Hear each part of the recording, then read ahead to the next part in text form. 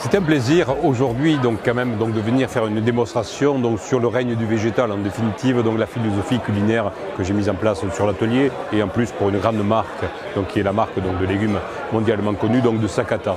L'univers du végétal donc me rapproche donc de cette marque, c'est pour cela effectivement que j'ai fait une démonstration à partir entre autres du bimi et de tous les produits de Sakata la recherche, le développement et le goût, en tous les cas pour nous autres cuisiniers, une philosophie donc basée sur le végétal sera la philosophie demain perdurable et durable sur la gourmandise et sur l'humanité.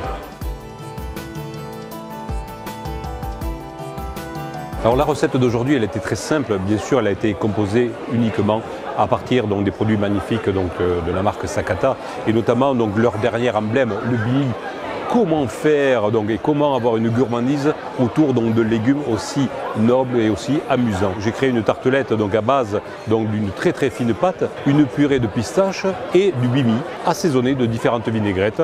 Et pour l'accompagner, nous avons mis bien évidemment toutes les variétés donc, de légumes de Sakata.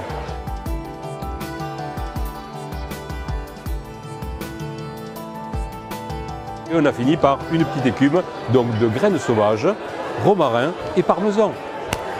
Et voilà.